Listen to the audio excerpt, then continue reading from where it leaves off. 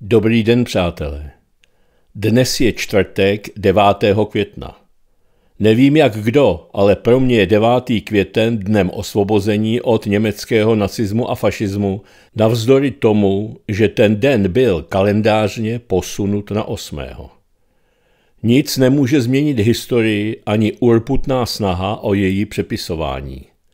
Jedno je jisté – Hmatatelný počátek druhé světové války je v Mnichovské dohodě z 30. září 1938 a následnou okupací o půl roku později 15. března, což byl jednoznačný válečný akt, a následně o dalšího půl roku později 1. září napadli Němci Polsko, čímž oficiálně druhá světová válka začala. Takže když se to tak vezme kolem a kolem, tak druhá světová válka začala u nás a u nás vlastně i skončila. A nejen tím, že Praha, co by hlavní město Československa, bylo osvobozeno 9. května poté, co do něj věly tanky rudé armády pod vedením maršála Rybalka, ale také tím, že na našem území u Milína se odehrála 11. a 12. května, tedy už po podpisu německé kapitulace, poslední velká bitva druhé světové války v Evropě, kdy jednotky SS pod vedením fanatického generála Karl von Pickler Burghause se odmítli vzdát rudé armádě a američané je odmítli vzít do zajetí. Je pravdou, že nám, kteří si ještě něco pamatují a nejsou nevzdělaní, se úloha stížila, neb musíme pracně vyvracet bludy, které jsou nalévány do hlav mladých a co je horší, i dětí. Ale o tom bude komentář, který jsem si nechal na konec dnešního monitoru. A teď už po pořadě tak, abychom dodrželi zažité schéma monitorů. Kromě svátku Dne osvobození má dnes také svátek Ctibor a Stibor a na Slovensku Roland. K tomuto jménu si krátce řekněme, že jméno Ctibor a také Stibor, což je archaická podoba toho jména, je mužským křestním jménem slovanského původu. Vzniklo ve staroslovanštině složením dvou slov – První část jména pochází ze slovanského slova čest, druhá pak ze staroslovanského boriti s významem bojovat. Jméno Ctibor se tak vykládá jako bojovník za čest nebo čestný bojovník, či bojující za čest a podobně. Ctiborů je u nás údajně 1002, takže se jedná, co se týče popularity, o 171. jméno. Tak vše nejlepší. Kdyby byla neděle, tak je dnešní den dnem matek. Slaví se po celém světě, ale všude jinak, protože vychází z různých tradic. Například ve Velké Británii čtvrtou postní neděli a v arabském světě 21. března, tedy na první jarní den. U nás se slaví jak jinak, než podle amerického vzoru druhou květnovou neděli. A dále tu máme Den Evropy – je to jeden ze symbolů Evropy a Evropské unie a je to připomínka 9. května 1950, kdy francouzský ministr zahraničních věcí Robert Schuman představil myšlenku mírové spolupráce v Evropě. Proto bývá někdy také nazýván Schumannův den. Někdy bývá jako Den Evropy slaven také 5. květen výročí vzniku Rady Evropy v roce 1949. Nevím, ale když se na dnešní Evropu podíváme, je vůbec co slavit? Ale co, oslav není nikdy dost. To víte, Parkinsonovi zákony jsou Parkinsonovi zákony. A teď nahlédněme do malého historického okénka. 9. května 1346 papež Klement VI. povolil Karlu IV. založit klášter Emauzy, kde směl být liturgii používán slovanský jazyk. 9.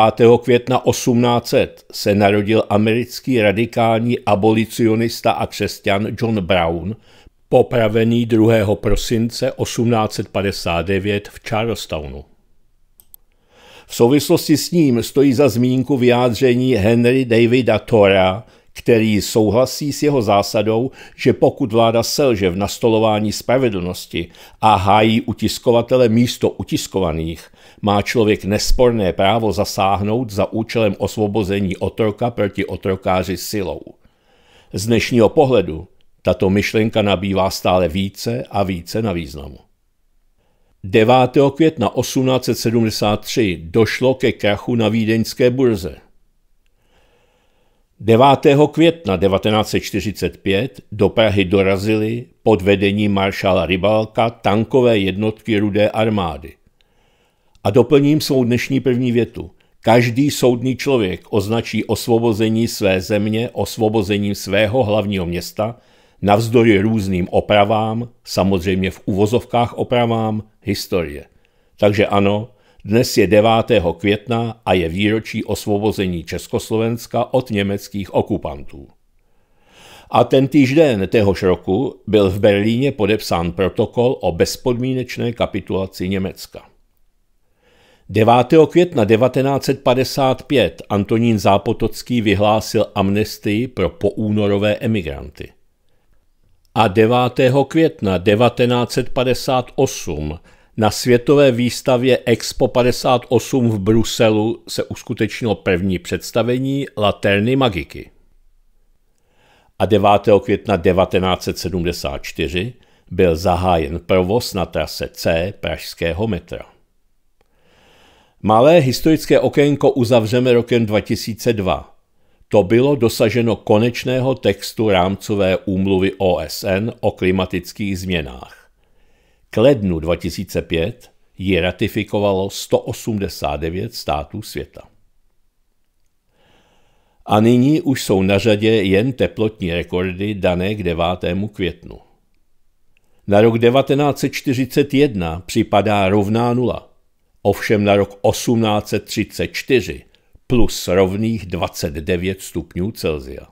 Přičemž průměr denní teploty pro tento den je 13,8 stupně Celsia.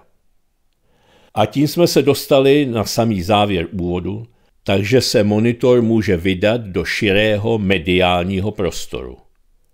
Dnes začneme komentářem Jindřicha Kulhavého. 8. května 2024 dnes si připomínáme porážku nacismu a fašismu, zároveň konec druhé světové války. Zatímco v Evropě se od té doby s výjimkou rozpadu Jugoslávie napadení Srbska Američany na konci minulého tisíciletí neválčilo, pak nacismus se vrátil v nečekané podobě především tím, že se ve velké míře projevuje v řadách občanů bývalé součásti Sovětského svazu. Ano, na Ukrajině má nacismus svou historii, ovšem jen málo kdo očekával, že se tamní tradice dokáže stát státní doktrínou podporovanou Západem. Je smutné, že se nacionalisté z Azovského pluku a pravého sektoru stali pro část Ukrajinců hrdiny a společně s ukrajinskou armádou stojí proti té, která v květnu 1945 ukončila Hitlerovo tažení Evropou a Afrikou. A paradoxem zůstává i to, že bývalí spojenci Sovětského svazu nyní vyzbrojují nepřítele nástupce ruské armády. Britové dokonce dodali rakety dostatečně dlouhého doletu k zasažení ruského území s dodatkem, že je Ukrajina může začít používat k ohrožení ruského svrchovaného území. Následovala protestní nota z Moskvy doplněná varováním před okamžitou reakcí zaměřenou na vojenské základny dodavatele zbraní, dojde k použití britských raket proti Rusům za hranicemi lokace současného konfliktu. Přidáme-li vlakové konvoje s vojenskou technikou směřující z Evropy přes rumunské a polské hranice na Ukrajinu, musíme konstatovat, že jsme skutečně na pokraji třetí světové války. Nadšení pro její začátek s našimi politiky nezdílíme, jejich optimismus také ne a na odstraňování památníků věnovaným hrdinům druhé světové války hledí většina Čechů s despektem. Síla ruských zbraní může být důvodem k diskuzím, nicméně je jisté, že jaderné zbraně má Rusko možná na světě nejúčinnější a jejich využití nejpropracovanější.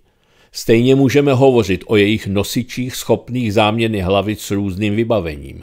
Navíc historicky rusové války neprohrávají a mají solidní zázemí, západem sice předurčené k rozdělení si mezi vlastní členy, ovšem to až poté, kdyby s tím Moskva musela souhlasit. A věřte, že to se nikdy nestane. Stejně jako to, že by Češi šli proti Rusům dobrovolně do války, myšlen celý národ, ne pár pošuků, naivních a zmanipulovaných jedinců či vládních politiků. Dnes se však věnujeme spíše o světě a mládeži připomeňme, že to byli především Sověti, potažmo Rusové, kdo zvrátil vývoj druhé světové války. Za cenu 20 milionů lidských životů z vlastních řad vytlačila rudá armáda Němce, nacisty a fašisty z východní a střední Evropy, zatímco z druhé strany se k demarkační čáře přiblížili především američané. Nacismus byl na pár desítek let potlačen, přeživší vězňové z koncentračních táborů osvobozeni a mohli začít novodobé evropské dějiny. Že je liberálové dokázali tak rychle ovlivnit a vedou Evropu do další války, je jen smutný důsledek naivity Rusů a důvěry poskytnuté západu po ukončení socialistického experimentu ve střední Evropě. Nicméně Rusko se vrátilo zpět, je silné a budí respekt, který může zajistit světovou rovnováhu. Děkujeme tímto každému sovětskému, ale i americkému či jinému vojákovi, kteří se podíleli na porážce nacismu za druhé světové války. A stejně tak i těm, kteří s tímto záporným fenoménem bojují i nyní. Naše speciální poděkování míří do Moskvy, která už před svými branami fašisty porazila. A nyní se společně s Pokecem 24 podíváme na to, jak vlasovci zachraňovali Prahu a kdo ji skutečně osvobodil. Mýtus, že Praha v květnu 1945 nebyla osvobozena rudou armádou, ale ruskou osvobozeneckou armádou ve zkratce ROA, nebyl vynalezen v České republice. Za jeho zakladatele lze považovat známého protisovětského oblíbence západu a ruské v úvozovkách demokracie Alexandra Solženicina. Tvrdě pracoval na poli vytváření protisovětských mýtů. Mezi jeho výmysly patří koncept záchrany Prahy ruskými kolaboranty. Takže v díle Soostroví Gulag je napsáno Prvním a zároveň posledním samostatným činem těchto vlasovských divizí byl úder proti Němcům.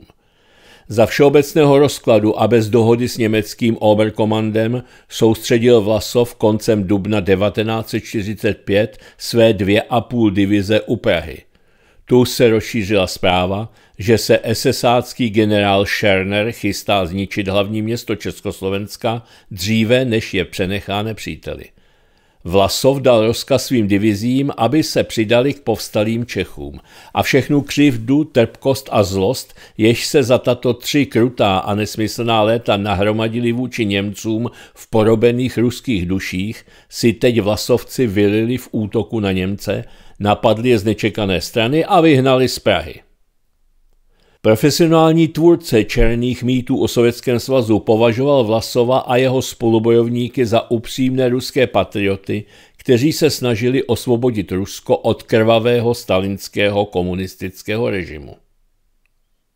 Pražské povstání a Roa Počátkem května 1945 inspirovali Čechy k povstání sovětské a americké jednotky, které se blížily k hranicím Českého a Moravského protektorátu.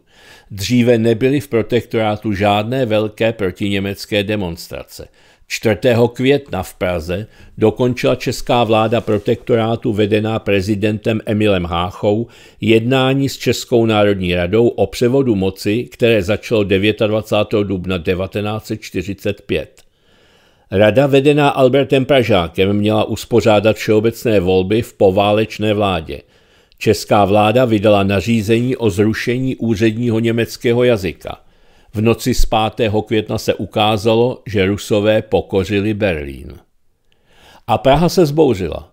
Za několik hodin město rozkvetlo národními trikolorami, rozhlasové vysílání znělo v češtině a na ulicích se objevily stovky barikád – Povstání velel generál Karel Kutlvašer.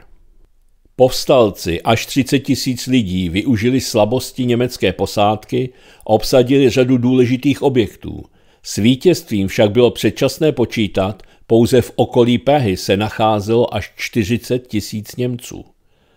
Vůdci povstalců proto zahájili jednání s SS Obergruppenführerem Karlem Frankem a velitelem jednotek Wehrmachtu bojujících v Praze Rudolfem Toussaintem.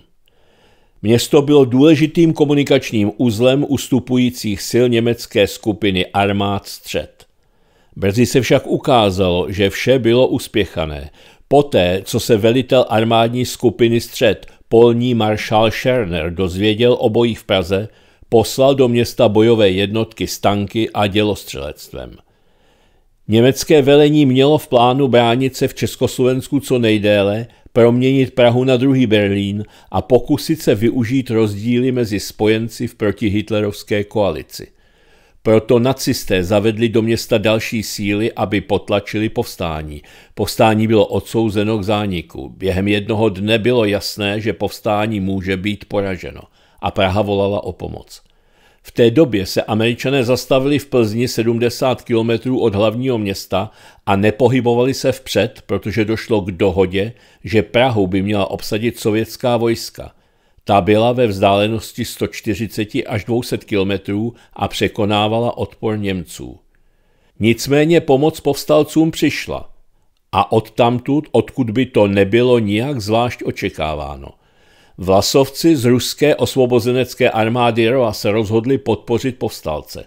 Česká národní rada požádala o pomoc první divizi, 18 000 vojáků, která se nacházela nedaleko Prahy, vedenou generálmajorem Buňačenkem.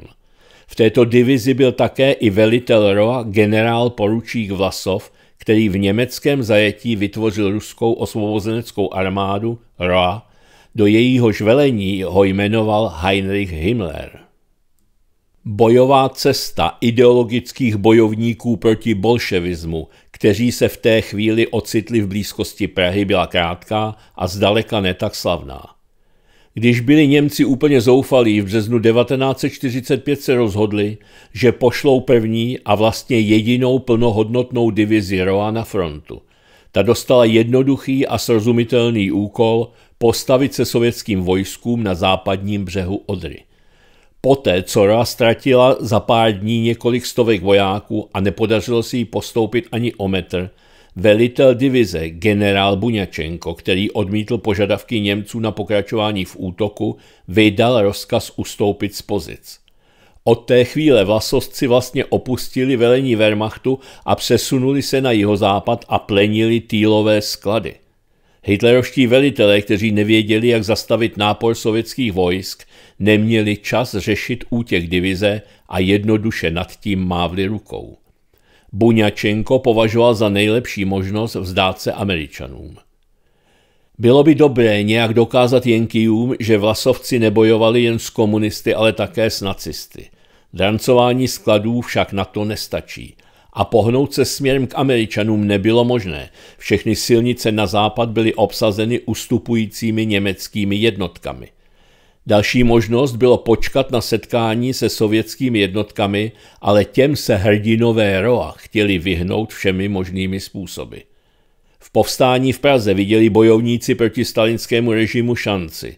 Měli skutečnou příležitost ukázat západním spojencům svou antifašistickou podstatu. Velení Roa si dobře uvědomovalo, že třetí říše byla poražena. Plánovali vzdát se západním spojencům, aby pokračovali v boji proti komunismu, ale již s jiným vrchním velením. První divize své volně přešla do Týlu a Vlasov se pokusil na jedné straně jednat s Němci, na druhé straně chtěl jít co nejdál na západ, aby se vzdal Američanům. Ve štábu první divize ale kvůli této otázce propukl spor – Vlasov byl proti podpoře povstání, ale většina velitelů stála na straně Buňačenka. Vlasov se urazil a od té chvíle už se dalšího rozhodování nezúčastnil. Veškerou iniciativu převzal Buňačenko a k účasti Vlasovců na pražském povstání tak došlo proti vůli samotného Vlasova. Velitel Roa odmítl pomoc Čechům. V tomto dobrodružství neviděl smysl. Generál Buňačenko naopak nařídil svým vojákům, aby podporovali povstání. Doufal, že pomoc Čechům posílí jeho vyjednávací pozici. Vlasov nezasahoval a nezúčastnil se akcí v Praze. 6. května 1945 bylo v ulicích Prahy až 2000 barikád. Povstalci, kteří měli většinou jen malé zbraně, utrpěli těžké ztráty. Nacisté se dostali do centra města, obsadili radnici a mosty přes Vltavu. Vlasovská divize měla relativně dobrou bojovou připravenost a navíc ruští vojáci opravdu dychtili zabít Němce. Divize Buňačenka obsadila letiště v Ruzini, kde byly umístěny bombardéry Luftwaffe, připravené bombardovat město i Pražský Smíchov a převzala kontrolu nad dvěma mosty přes Vltavu. Snadnost, se kterou to dokázali, byla způsobena tím, že Němci nevěděli o zradě svých včerejších spojenců. Situace se však brzy vyjasnila a nacisté začali brát Vasovce vážně, začali silné pouliční boje. 7. května se vojáci Roa probojovali do centra Prahy a rozdělili německou skupinu na levém břehu Vltavy. Vlasovci zajali až 10 tisíc Němců, Vlasovci však svými omezenými silami nemohli osvobodit celé město. Zde v uvozovkách hrdinové Roa poprvé bojovali o skutečnou hodnotu – pokud budou úspěšní, mohli představit osvobozenou Prahu západním spojencům a počítat s dobře krmeným americkým zajetím. Prostě nevěděli o dohodách mezi Sovětským svazem a USA o osudu českého hlavního města. Brzy jim však bylo jasné, že do Prahy dříve vstoupí sovětská vojska než vojska americká. Když se nové jednotky ustupující německé armádní skupiny přiblížily městu, První divize byla odsouzena k porážce. Tehdy již bylo jasné, že američané do Prahy nepřijdou.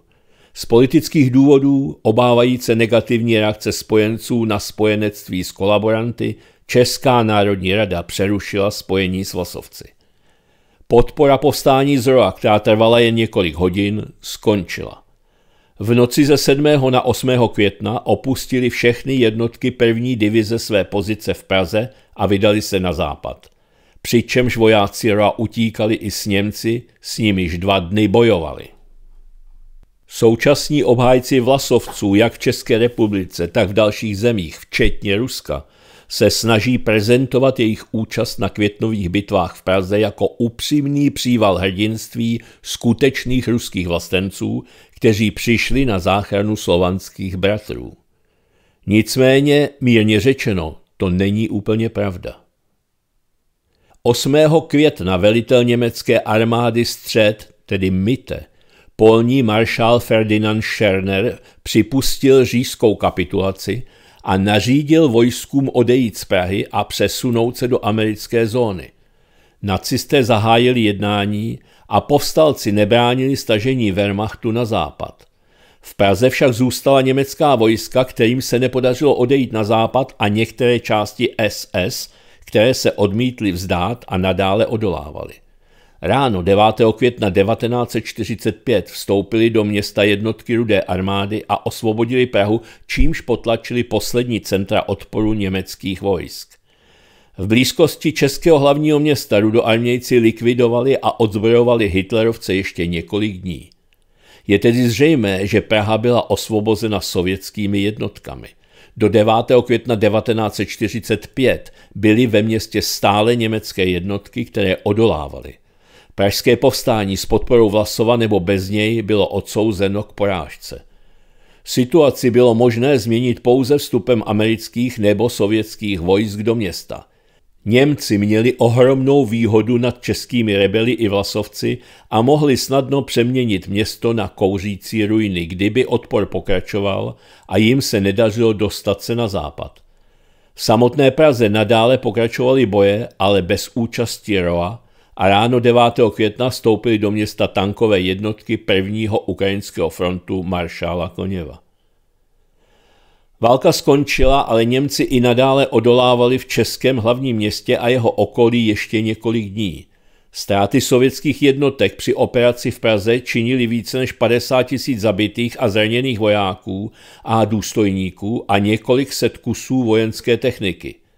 Vlasovci přišli o méně než tisíc lidí, jeden tank a pár zbraní. Velitel ROA generál Vlasov se nezúčastnil akcí v Praze a byl oponentem pomoci českým povstalcům. To znamená, že jeho připomínka jako osvoboditele Prahy je zřejmá hloupost. První divize Buňačenkova se skutečně dva dny účastnila bitev v Praze, ale v zásadě nemohla dosáhnout vítězství nad nacisty.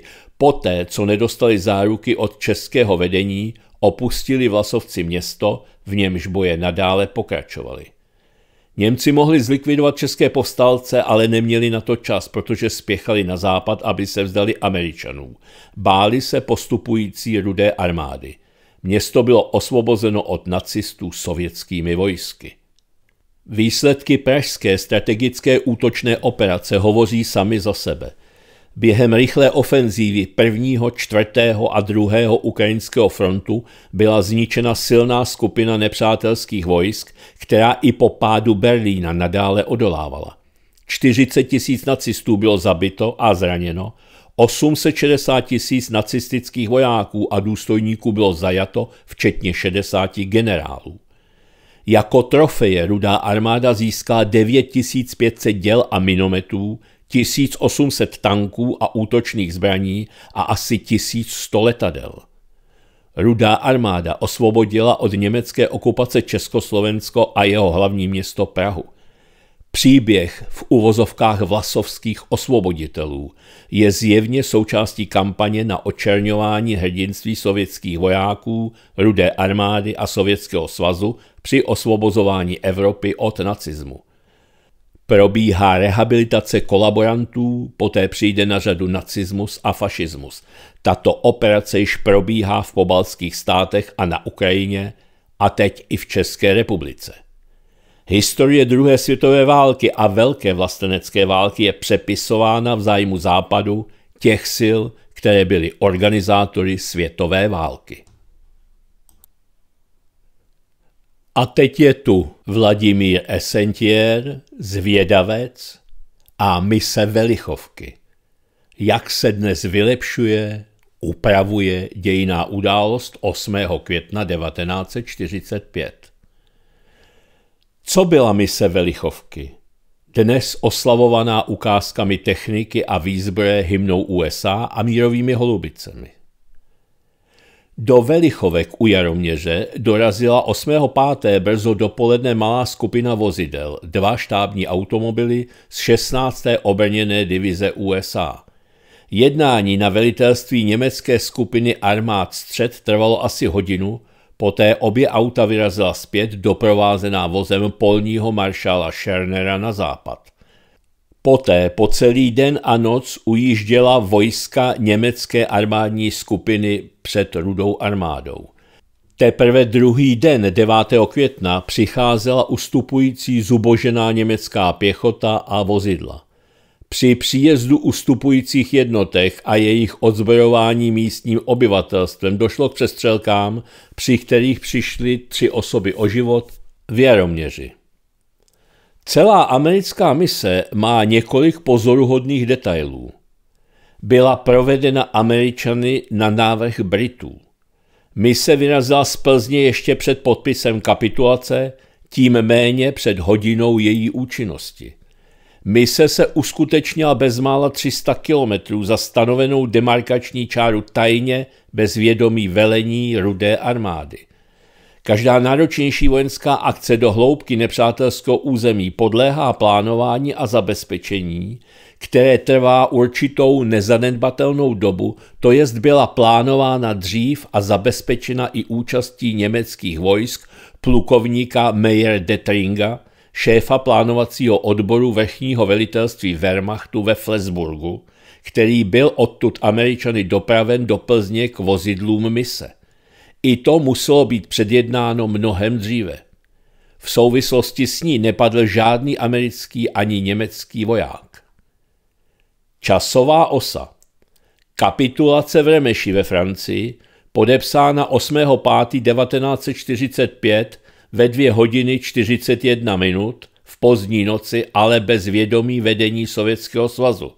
Její účinnost byla dokumentem stanovena od 8.5.1945 23 hodin 01 minutu středoevropského času. Oficiální kapitulace v Berlíně byla podepsána 9.5.1945 v 0,45 hodin všemi mocnostmi. Termín účinnosti dle vlastního dokumentu připraveného k podpisům byl 9.5.1945 od 0 hodin 1 minuty středoevropského času. Mise USA vyjížděla z Plzně, ale už 7.5.1945 ve 21.40, tedy před vlastní první i druhou kapitulací a dorazila zpět do Plzně 8.5.1945 v 18 hodin. Termín účinnosti dle vlastního dokumentu připraveného k podpisům byl 9.5.45 minutu po půlnoci. A jak to bylo s vlastní kapitulací Německa? Zajímavé. Kde se vzal sovětský osamocený generál Vremeši ve Francii tak daleko za demarkační čárou už 7.5.1945? K první kapitulaci Německa došlo v Remeši, kde ji za sovětský svaz podepsal jen sovětský generálmajor Ivan Susloparov, který byl tehdy pouhým náčelníkem sovětské vojenské mise vrchním velitelstvím spojeneckých expedičních sil na západní frontě a který k tomu však nebyl vedením Sovětského svazu splnomocněn, i když se snažil navázat spojení a situaci konzultovat s Moskvou. Tento kapitulační akt oprávněně odmítl Stalin, představitel Sovětského svazu, a trval na oficiálním druhém aktu, tentokrát v dobitém Berlíně, za přítomnosti pověřených představitelů Sovětského svazu, jakožto rozhodující síly na porážce nacistického Německa. Mise Velichovky. Máme dva výklady anglosasky lidumilný anebo anglosasky věrolomný, kterým byl například Mnichov, či takzvaná podivná válka pomoc Polsku. Za prvé, cílem bylo podle současných propagandistických výkladů doručit kapitulaci veliteli armádní skupiny Střed a dojemná snaha angloamerického velení zabránit zbytečným ztrátám na sovětsko-německé východní frontě. Předpoklad, že by armádní mašinérie se svou německou důkladností nevyrozuměla jedinou největší a nezničenou armádní skupinu je opravdu naivní, stejně tak jako minimalizace ztrát jak Němců, svých nepřátel, tak svého největšího geopolitického soupeře Sovětský svaz. Za druhé, Ovšem skutečným politickým a vojenským cílem podle dostupných faktů byla Churchillova přísně tajná operace, nemyslitelné, z přelomu dubna května 1945 odtajněná až v roce 1998, která nebyla nakonec spojenci schválena pro nedostatečný poměr sil pro útok proti rudé armádě. Jak to mělo být? Postupně by se do bojů zapojilo asi 112 angloamerických divizí, včetně Kanaďanů, dále pak desetitisíce polských vojáků a asi deset divizí poraženého Wehrmachtu se 100 tisíci muži, které Britové schromáždili v severním Německu a jižním Dánsku. Jejich významnou posilou by byla ostřílená Schernerova skupina armád střed. Celkem by tak bylo k dispozici přes 2,5 milionu vojáků. Problém plánovačů byl v tom, že prvotnímu útoku by čelila dvojnásobná přesila jednotek rudé armády, byť s momentem překvapení a další by přišli na pomoc později. Z hlediska britského generálního štábu všechny možné scénáře operace nemyslitelné odpovídaly jejímu názvu. Neměli prostě šanci na úspěch, jak zněl závěr plánovačů z 22. května 1945. Parlamentní listy včera provedly jistý druh monitoringu internetu se vztahem k oslavám osvobození. Tady je výsledek, titulek, čert vás vem. Oslavy osvobození se v České republice zvrhly hned ráno. Třicetileté období dvou světových válek, které stály život 100 milionů lidí, skončilo před 79 lety – Nikdo, komu není dnes alespoň 79, na ně nemá přímé vzpomínky, nikdo, komu není alespoň 94, aktivně nezasáhl do jejich bojů. Vyndala na Twitteru Alena Schillerová kalkulačku. A pokračovala konstatováním, že máme dluh vůči osvoboditelům. Máme dluh vůči těm, kteří zemřeli ve válce a máme dluh vůči těm, kteří vybudovali mír. napsala Alena Šilerová. Podle oficiálních čísel při osvobozování Československa padlo na 144 tisíc sovětských vojáků. Na druhé straně fronty při osvobozování Československa padlo 116 Američanů a 406 bylo zraněno. Přičemž pro období celé druhé světové války odhady hovoří o 9 milionech 800 tisících mrtvých vojáků rudé armády a 407 tisících 300 zabitých amerických vojáků. Smekám před všemi hrdiny, kterým vděčíme za to, že dnes můžeme slavit Den vítězství, uzavřela první místo předsedkyně ANO Alena Šilerová. A na její hlavu se hned začaly sypat komentáře, které tu první místo předsedkyně ANO rozhodně nectili. A neměli se radši dohodnout a jednat. Nebyla obrana zbytečné prodlužování konfliktu, ozvalo se v narážce na to, že hnutí ANO volá po zastavení války na Ukrajině u jednacího stolu. A proto jste se vykašlali na obranu a lísali se k Rusku s malým R s dvěma S, se zeptal Aleny Šilerové Daniel Hrivňanský. Cynismus sešel i z komentáře Jirgena Wagenknechta – Zbytečně zemřelo miliony lidí. Kdyby tenkrát žil Andrej Babiš, určitě by v roce 1939 uspořádal mírovou konferenci a tím by zabránil prolití krve milionům lidí po celém světě. Hrdina, PS, sláva Ukrajině. Zahrál falešné tóny do piety Wagenknecht. Ministerstvo obrany České republiky si zachovalo tvář a vzpomnělo všechny vojáky, kteří porazili nacistické Německo. Před 79 lety skončila druhá světová válka v Evropě. Díky rudé armádě, americké armádě a dalším spojencům, ale také díky československým vojákům a domácímu odboji bylo osvobozeno také Československo, tweetovalo ministerstvo spadající pod ministriní Janu Černochovou.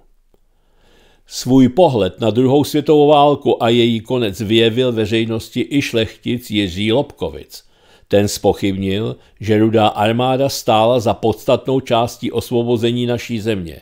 Jedním z velkých mýtů v naší historii je, že ruská armáda osvobodila naši zemi od nacistů 9. května 1945, napsal Lobkovic na Twitteru a popsal, jaké mýty má na mysli.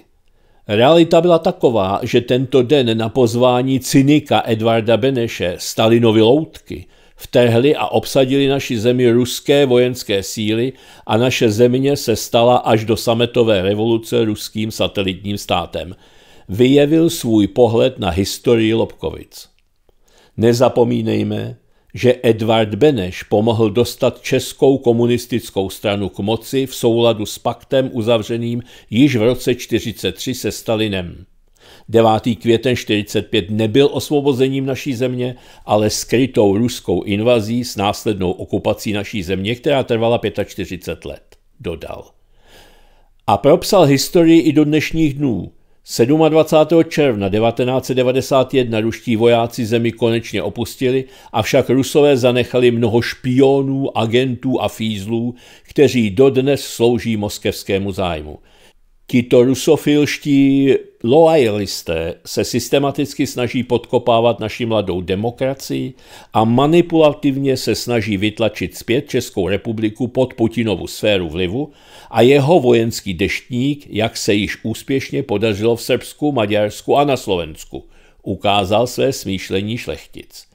Jiřímu Lobkovicovi se pod jeho pojetím dějin bez pěty objevily četné komentáře. Díky za vaše slova, pane Lobkovici, napsal mu Lukáš Valenta, twitterový glosátor a vyvraceč lží extremistických stran, hnutí a jednotlivců, jako sobě píše. Jenže ne všem se Lobkovicůch pohled líbil – můj děda z máminy strany, původem z rusko-ukrajinského pomezí, jsem přijel po boku Ludvíka Svobody a probil se přes Duklu i ostravskou operaci. Kdyby tohle mohl číst, řekl by, ať vás vezme čert. A on si vás vezme. Jste ubohá, prolhaná, zdegenerovaná špína. Ozvalo se na účet šlechtice. Jiří Lobkovic rád občas zalomcuje veřejnou diskuzí. Před senátními volbami v roce 22 Andrej Babiš prosazoval za senátora Jaromíra Dědečka. Ten stál proti Tomáši Černinovi, šlechtici, který v Senátu sedí za TOP 09. Podpora Jaromíra Dědečka se ovšem Lobkovicovi nelíbila a tak se pustil do Babiše. Mluvil o opicích a banánech. Pane Babiši, zatímco vaše rodina stále skákala po stromech, jedli banány a navzájem si čichali k zadku, rodina Černinů téměř deset století chránila tuto zemi před debily jako jste vy. Nebral si Lobkovic na Twitteru vůči Babišovi servítky. Odlišný pohled na věc nabídla strana svobodných. Dnes slavíme vítězství nejen nad nacismem, ale i nad německou rozpínavostí. Na to pamatujme. Sláva našim hrdinům a padlým v druhé světové válce. Zazněl na jejich facebookovém profilu důvod, proč k druhé světové válce vůbec došlo. Tady mi to nedá, abych nepřipojil malou glosu. Nebudu komentovat výlevy těch neznámých a nevzdělaných rusofobních duševních chudáků, ale vyjádřím se k výrokům šlechtice Jiřího Lobkovice. A to docela jednoduše a krátce, tak jak se kdysi vyjádřil profesor Zdeněk Nejedlý, který řekl, že je známé, že česká šlechta je degenerovaná. V úvodu jsem slíbil komentář vztahující se k pracnosti vyvracení bludů, které jsou nalévány do hlav mladých a i dětí. Ten komentář jsem nazval Malovaná vlastivěda. Dostalo se mi do ruky totiž něco tak neuvěřitelného, že nad tím jednomu zůstává rozum stát. Vlastně nezůstává, protože tak, jak pokračuje debilizace národa, tak pokračuje i klistýr mozků. A staré známé praví, chceš-li porazit jiný národ, ukradni mu děti. A to se bohužel té globalistické pakáži velice dobře daří. Pokud se rychle nespamatujeme, pak náš národ dopadne velice špatně, neb k jeho zániku je velmi slibně nakročeno. Ale abych se dostal k tomu, co jsem řekl v první větě. Univerzita Palackého v Olomouci v roce 2021 vydala v prvním vydání pracovní sešit k vlastivědě pro páté ročníky základní školy zvaný Malovaná vlastivěda od Bílé hory po současnost. Autorkou je jistá Veronika Krejčí. Jen dodám, že v tiráži se praví, neoprávněné použití tohoto díla je porušením autorských práv a může zakládat občanskoprávní, správně právní, po případě trestně právní odpovědnost. Z toho, jak jsem si v tom veledílu přečetl, se mohu domnívat, že trestně právní odpovědnost by měl nést vydavatel spolu s autorkou. Za tak odporné kroucení dějinami a manipulaci s dětmi by skutečně měl být někdo pohnán k odpovědnosti. A teď konkrétně. Pominu historii Bílé hory a následků, včetně toho, co navazovalo, a zaměřím pozornost na novodobé dějiny a začneme stranou 21, kde se mluví o Mnichovské dohodě. Cituji. V Německu se dostali k moci nacisté v čele s Adolfem Hitlerem – ten chtěl získat české území kolem hranic, ve kterém žili Němci. Tomuto území se říkalo Sudety.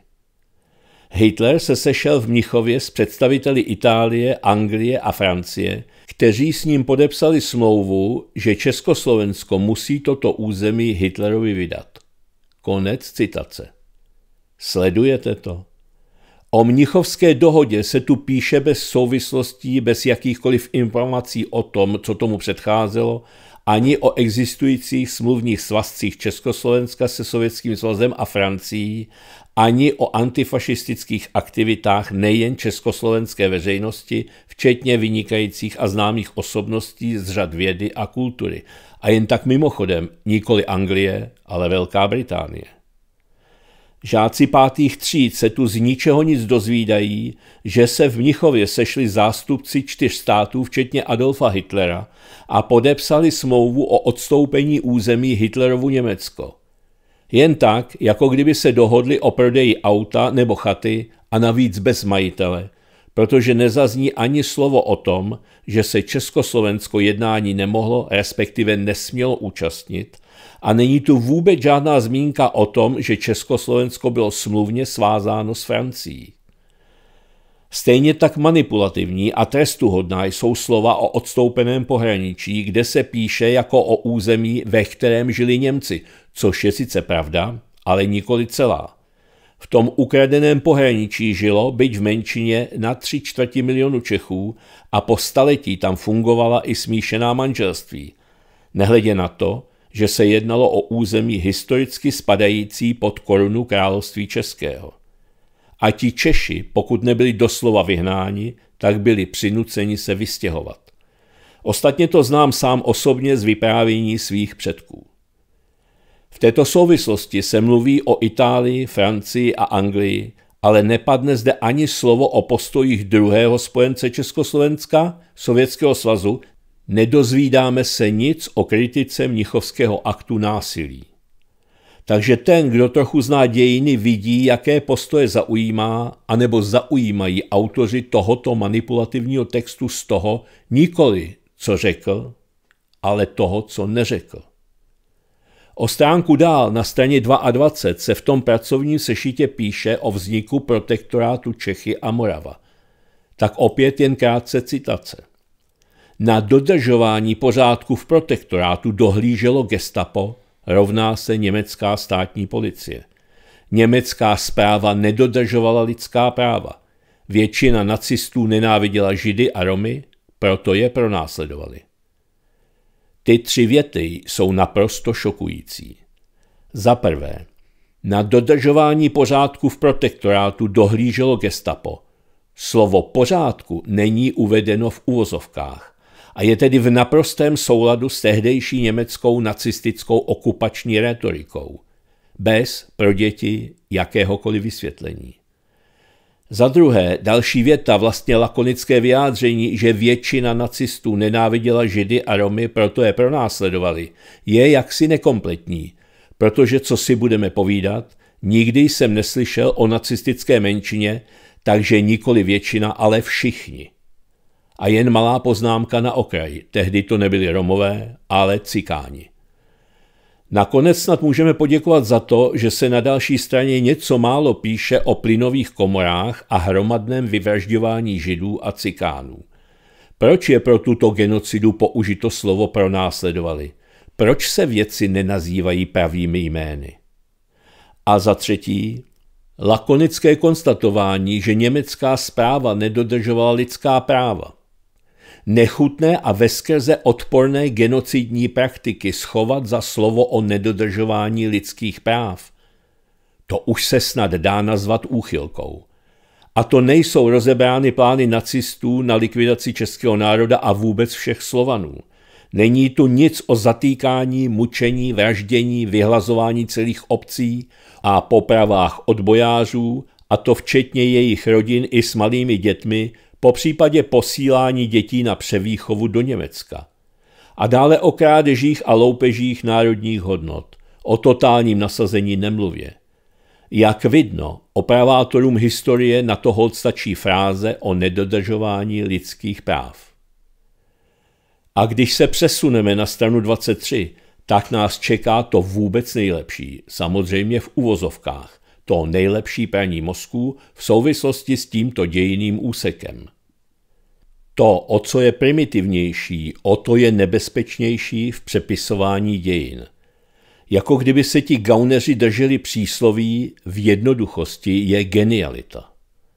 Strana 23 je věnována druhé světové válce a začíná zmínkou o začátku války a přepadení Polska. Pak následuje věta o tom, že se do války postupně přidávaly státy z celého světa.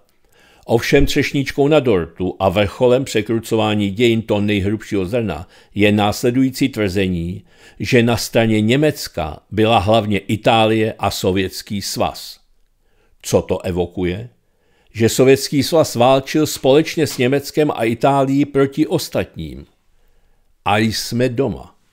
Víme, proč se v předchozím textu nemluvilo o mnichovské zradě. Jsou nám, respektive těm dětem, zamlčena fakta a překrucují se smlouvy o neútočení, ku příkladu tzv. pakt Ribbentrop-Molotov ze srpna 1939 a samozřejmě vývoj, který k takové smlouvě vedl. Je zamlčeno, že v danou dobu mělo podobnou smlouvu s nacistickou říší podepsanou více než deset států. Je zamlčeno, že se Sovětský svaz snažil spojit s Francií a Velkou Británií a dalšími státy, včetně Československa, proti agresivnímu nacismu minimálně od poloviny 30. let. Tím je připravena půda proto, aby Sovětský svaz byl vydáván za jednoho z hlavních vyníků druhé světové války přesně v intencích usnesení protinárodní EU a západních monopolů, které ji zřídili a řídí. Včetně toho ne dodržování lidských práv. S hodou okolností se ve valné většině a je lhostejno, že se dnes některé jmenují jinak, jedná o ty, které dláždili nacistům cestu k moci. S tímto kontextem by se totiž těžko věřilo takové nehorázné lži, jako že Sovětský svaz rozpoutal druhou světovou válku spolu s Německem. Je opravdu rostomilé, když se dále dočteme o tom, že, jak píší, komunistické Československo bylo totalitním státem, ovšem o nacistickém protektorátu tak nepíší, ten asi totalitní nebyl. Je takové opomenutí jen náhoda?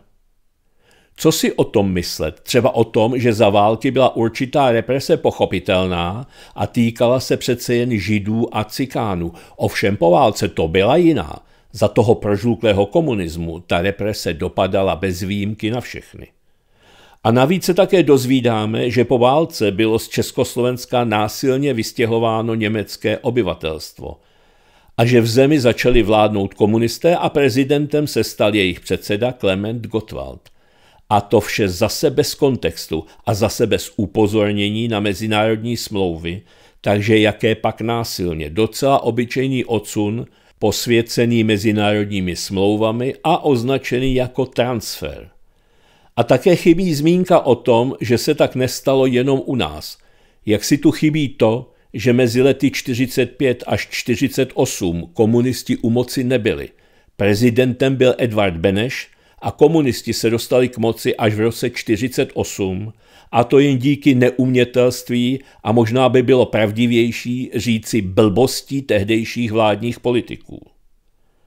Je ostudné, ale pro současný zahnívající režim naprosto typické, že se neštítí jakéhokoliv přepisování dějin a to i takto očividného. Ta bohorovnost je zarážející. Zvláště odporné a odpudivé je to, že se oběťmi takové indoktrinace a nechutnému vymývání mozků stávají děti, žáci prvního stupně základní školy, v tomto případě žáci pátých tříd a navíc v předmětu zvaném vlastivěda. A buďme si jisti, že nejde o náhodu. Stačí se podívat na usnesení Evropského parlamentu z roku 2019 o významu evropské paměti pro budoucnost Evropy – které za vyníky druhé světové války označuje nejen nacistické Německo, ale také Sovětský svaz. V této zemi a nejen v ní je dostatek zkušeností z pokusy přepisovat minulost, zaměňovat vyníky za oběti a oběti za vyníky a takto vytvořený falešný obraz minulosti politicky zneužívat. Proto má význam na tyto věci upozorňovat a účinně se jim bránit. I proto je naprosto nepřijatelná snaha sejmout vinu ze skutečných viníků za nejkrvavější konflikt nejnovějších dějin a přesunout ji na toho, kdo vlastně nejen nás osvobodil od německé snahy vyhubit náš národ. A už jen dodám, tenhle hnus vydala, jak jsem řekl úvodem, Palackého univerzita v Olomouci a autorka Veronika Krejčí na pedagogické fakultě této univerzity údajně působila. Alespoň to tak píše na svém webu. Jedna z nejvýznamnějších univerzit u nás, ta Olomoucká, se propůjčila k v podstatě zrádnému aktu. Ta indoktrinace, to slouhoství z toho celé čiší. Navíc je to placeno z peněz daňových poplatníků, tedy všech občanů, neb Palackého univerzita není univerzitou soukromou. A bohužel v takovém jednání není v České republice osamocena. A celou tu svou řeč uzavřu takto. V pondělí měl kolega Vladimír ve studiu hosta, jímž byl poslanec za SPD Zdeněk Kettner a hovořili o školství, tak jen doufám, že toto zná a podle toho bude konat. Celý dnešní monitor byl věnován konci druhé světové války, ostatně 9. května. Tak už jen pár slov na závěr. U nás se moc o konci druhé světové války před 79 lety a osvobození naší země moc nemluví. A když už, tak nás osvobodili američani a nikdo jiný. Ovšem, když si dovolí někdo vzpomenout těch, kteří nesli největší tíhu za ukončení zvěrstev nacistického Německa a jeho slouhů, tak se u nás hned strhne mela. Tak třeba u našich sousedů na Slovensku premiér Robert Fico přišel společně se zástupci vlády a parlamentu uctít památku padlých na Bratislavský Slavín. Tato vzpomínková akce začala přeletem tří vrtulníků Black Hawk a skončila symbolickým vypuštěním bílých holubic míru. Během této pětní akce premiér Fico také zdůraznil, že Slovensko a Československo osvobodila rudá armáda a vojáci rumunské armády. To podle něj vytváří silné pouto mezi lidem Slovenska a lidem bývalého Sovětského svazu. Premiér odmítl překrucování historie a opakovaně uvedl, že na porážce fašismu a vítězství ve druhé světové válce mají největší podíl vojska rudé armády bývalého Sovětského svazu. A vracím se zpět k prvním dvěma větám. U nás na internetu se okamžitě strhla mela. Hrdíní rusofobní bojovníci od klávesnic počítačů začali řvát a děsně je iritovalo vypuštění holubic míru. Nebudu se jimi příliš zaobírat, ale pro ilustraci uvedu jen pár, vlastně tři ukázky z jejich výlevů od někud z Twitteru, pardon, X.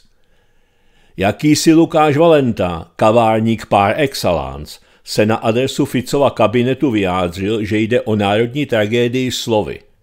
Tragédie slovenského národa v jednom videu – holubice míru nadspané do krabice od větráku a vysvobozené triem banditů Ficem, Blahou a Blanárem. A další duševní velikáni napsali, představitelé Slovenska jsou nechutné, tupé Putinovi onuce a Slováci si furt stěžují, že my Češi jsme vůči ním povýšený a pak dělají tohle. Holci na tom Slovensku dovolili opravdu hodně.